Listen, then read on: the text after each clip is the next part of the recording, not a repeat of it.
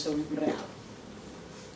Um, el primer que vaig conèixer de París en l'època d'Erasmus va ser una andalusa d'Almeria.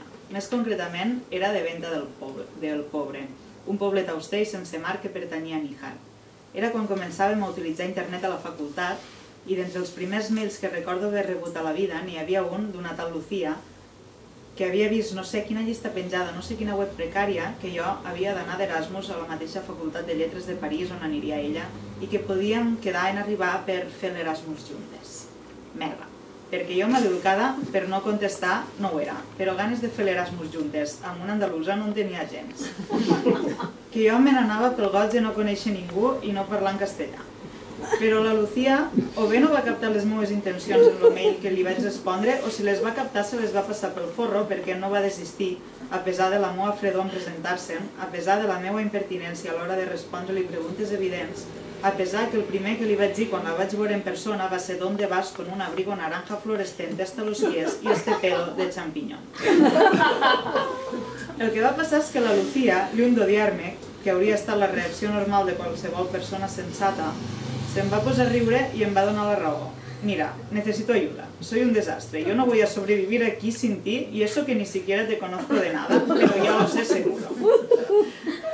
Crec que el primer que vaig aprendre en conèixer-la, i és un aprenentatge que encara avui defenso, és que no et pots enfadar amb algú que et fa riure. És físicament impossible, contradictori, com un oxímoron. I m'atreveria a dir que els mesos en companyia de la Lucía per París van ser els mesos que més he rebut en tota ma vida. Tot en ella prenia ràpidament un aire de tragicomèdia, on qualsevol cosa podia passar en qualsevol moment. Me recordava a vegades a un, un guió Modovar. I no vos penséssiu, no era d'aquelles boges que busquen les conseqüències dels seus actes, no. Esta més aviat era jo. Ella sempre volia evitar situacions malaurades, però tenia una manera d'anar per la vida que em costa d'explicar si no és amb exemples o amb la nostrada expressió amb els collons a les mans. Perquè m'entengueu, no sabia dir ni cafè o lè en francès.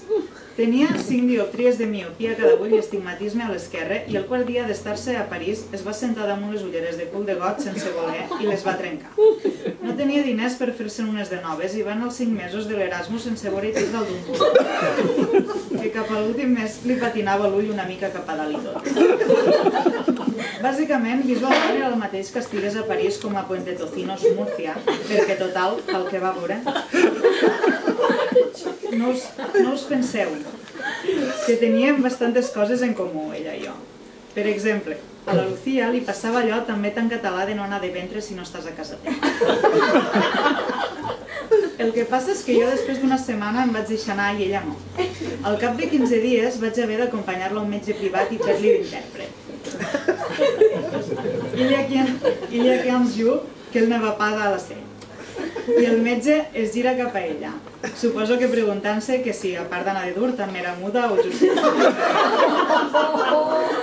Ella, eh, molt seriosa i de color groc, fa que sí amb el cap.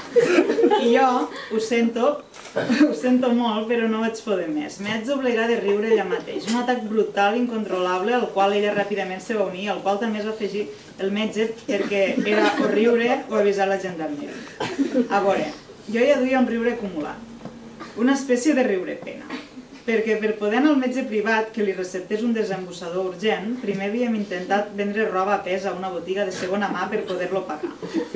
La Lucía va pensar que era bona idea de vendre's tota la roba que deia que no, que no li agradava. Jo tengo que volver renovada de aquí. Com sempre, jo vaig entrar-hi davant i vaig fer l'explicació el meu francès precari, la traducció del qual devia ser una cosa així. Esta noia jove té roba per vendre. Vaig fer un gest a la Lucía, com volem dir, abocar la roba. La Lucía, consegüentment, va abocar la roba que portava dins d'una bossa d'escombraries blava al taulell i es va treure l'abric taronja que acabava de decidir que ja que hi érem, los hi encolomava. La senyora de la botiga mos va mirar com si fóssim dos anormals arroplegades, mig en fàstic, mig en pena, va ronçar el morro i em va mirar a mi, entenc que com a representant legal, per dir-me que no em local. Llavors jo vaig fer un altre gest a la Lucía, com volem dir, arroplego, que m'ho cantant la canya. I vaig haver d'empassar-me la saliva unes quantes vegades i estrenyar-me els llavis fort per no deixar-me sortir aquell riure inundat pel ridícul i l'absurd al mig de la botiga d'antics. Oh.